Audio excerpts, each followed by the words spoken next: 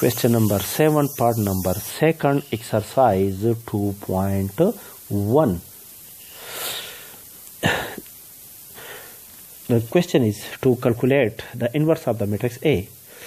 For the inverse of the matrix A, the first condition is when the matrix the inverse of a matrix is possible only when the matrix uh, is by itself is a square matrix. The matrix a the order of the matrix is 2 cross 2 the matrix is a square matrix. And the second condition for the inverse of a matrix that the matrix is a non-singular matrix.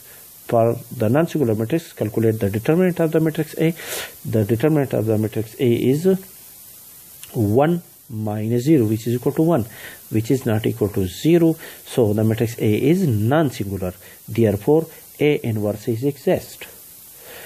The working rule for the calculation of the inverse of a matrix first we have to calculate the cofactor of each element of the matrix A. The cofactor of the element in the first row and first column of the matrix A is equal to minus 1 raised to power 1 plus 1 multiplied by delete the first row and first column we get 1 multiply this quantity by 1 we get 1 calculate the cofactor of the first row and second column which is obtained when we multiply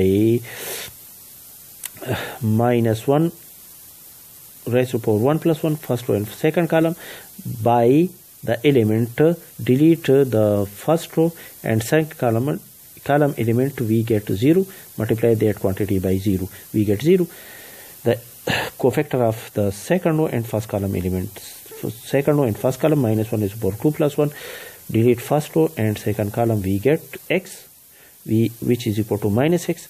Delete uh, a 2 to second row and second column. Minus 1 is equal to 2 plus 2 delete the second row and second column we get 1 which is equal to 1 multiply this quantity by 1 we get 1 so replace each replace each element by its uh, cofactor. We have we get a matrix B. Replace each element by, uh, in the matrix A by its cofactor, which are 1, 0, minus x and 1.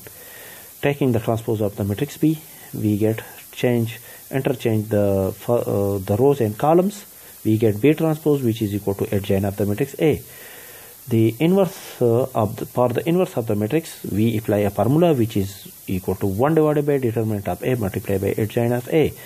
1 divided by determinant of a is equal to 1 multiplied by adjoint of a is this matrix. So multiply each element of this matrix by 1 we get uh, equal again equal to a matrix having elements 1 minus x 0 and 1 which is the inverse of the given matrix